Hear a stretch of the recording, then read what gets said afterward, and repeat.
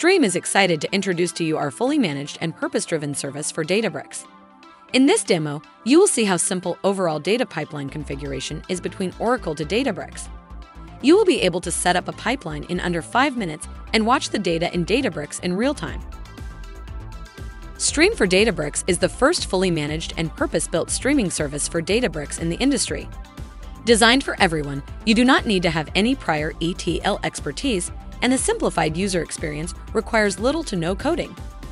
This solution also offers reduced total cost of ownership with consumption-based metering and billing. In this demo, we will demonstrate creating an Oracle to Databricks pipeline and moving your data in a few simple steps. In addition to this video, we have added inline documentation to help you understand the on-screen information. When you launch the service, you will be brought to the Create a Pipeline screen.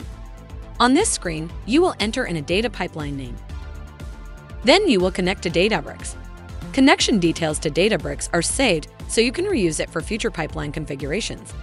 In this demo, we will create a new connection to Databricks that requires the account keys to be entered. The service automatically validates the connection and checks for all the necessary prerequisites. Similar to the target, the service will save the source connection details for future use. Prerequisite checks are run against the source as well, and the report will be shown to you. If the connection is valid, the service identifies the schema on the Oracle source and presents the list for you to select the correct one. The service then checks for the compatibility of the source schema with Databricks and presents the table list for your selection. While selecting your tables, you can also choose the transformation per table that will be applied as the data flows through the pipeline in real time. For this demo, let's choose to mask this specific column's data. Striim for Databricks also offers intelligent performance optimization with parallel data processing by grouping the tables.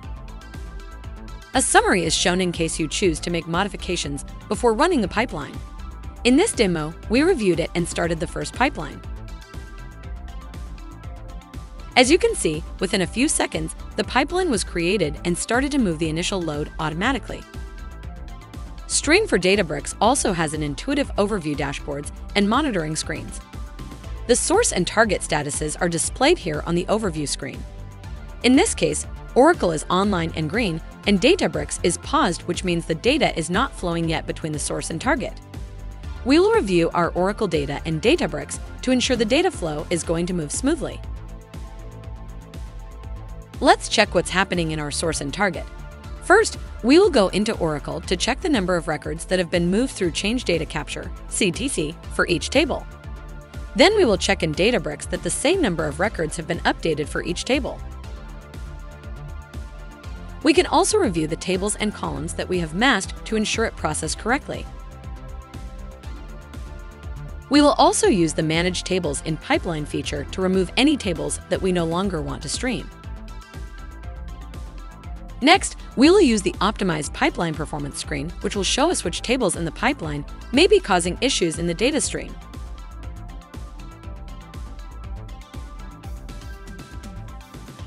We can then pause the pipeline to optimize performance by creating table groupings and reducing the time spent between batches being sent to Databricks.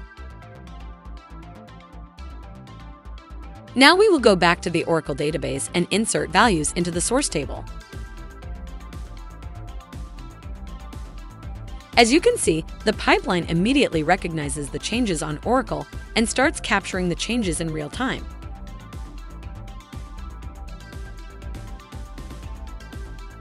If we run a query on Databricks now to check the changes made to that table, we will see the CDC events are already available. Thanks for watching. You have now seen our seamless, automated, and real-time data capture using Striim for Databricks service.